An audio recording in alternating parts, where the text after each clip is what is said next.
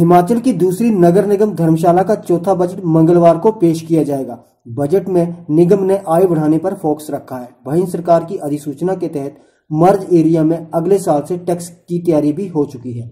निगम ने चौथे बजट में नई स्कीमें शुरू करने का निर्णय लिया है। वहीं स्वच्छता पर ज़ोर देने की व्यवस्था बजट में की गई है। निगम ने आय बढ़ाने के लिए अहम फैसले लिए हैं। वहीं प्रॉपर्टी टैक्स को लेकर निगम गंभीरता से काम करेगी। नगर निगम में मर्ज एरिया के संबंध में प्रदेश सरकार की ओर से जारी अधिसूचना के तहत अगले साल प्रॉपर्टी टैक्स लगना शुरू हो जाएगा। गौर हो कि नगर निगम के गठन को चार साल हो चुके हैं, लेकिन अभी तक मर्ज एरिया में किसी भी तरह के टैक्स की कोई वसूली नहीं की गई है। कल कॉरपोरेशन अपना चौथा बजट पेश कर रही है और उसमें शहर के लोगों के लिए काफ़ी ज़्यादा इस बार हमने स्कीम्स नई स्कीम्स लेके आए हैं। और ज़्यादा फोकस हम लोग सैनिटेशन पे करने जा रहे हैं।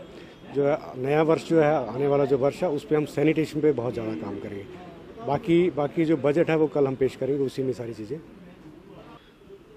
कमर्शियल कॉम्प्लेक्स बनाएँगे और जो प्रॉपर्टी है टैक्स हैं, उस पर ज़्यादा फोकस करेंगे। जो जहाँ पे हमारे रेंट्स हैं, जिनको जिनको शॉप्स दी थी, उनकी रिकवरी है, वो ज़्यादा करेंगे। तो इसमें हमने बजट में सारा क्लियर किया हुआ सरकार की जो नोटिफिकेशन है हिमाचल दस्तक वेब टीवी के लिए धर्मशाला से राजेश कुमार की रिपोर्ट।